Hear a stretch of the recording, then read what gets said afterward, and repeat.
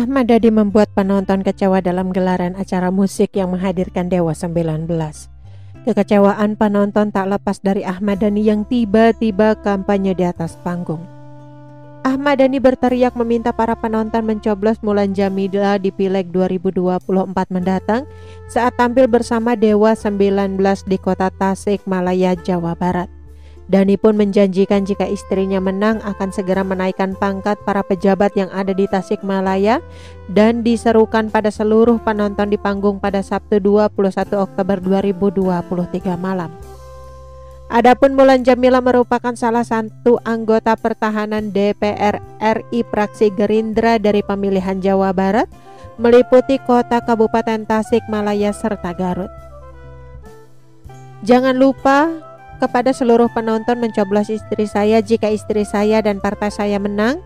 Saya janji akan menaikkan pangkat para pejabat di sini teriak Dani di sela-sela konser Dewa 19 di Lanud Dinata Kota Tasikmalaya pada Sabtu malam.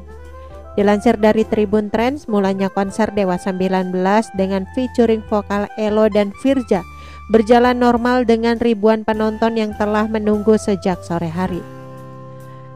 Sebelum penampilan Dewa 19 dimulai, telah tampil band Tip X dan Rosa menghibur para penonton. Kemudian band yang digawangi Ahmad Dhani tersebut pun tampil membawakan beberapa lagu legendaris band tersebut diawali oleh vokalis Elo. Kemudian Firja tak kalah menarik membawakan beberapa lagu Dewa 19 lawas dan terbaru. Seusai penampilan Firja pentolan band tersebut yakni Ahmad Dhani membawakan lagu-lagu Dewa 19 andalannya. Namun menjelang malam, Dani tiba-tiba berteriak dan meminta seluruh penonton untuk tak lupa mencoblos istrinya saat Filek nanti.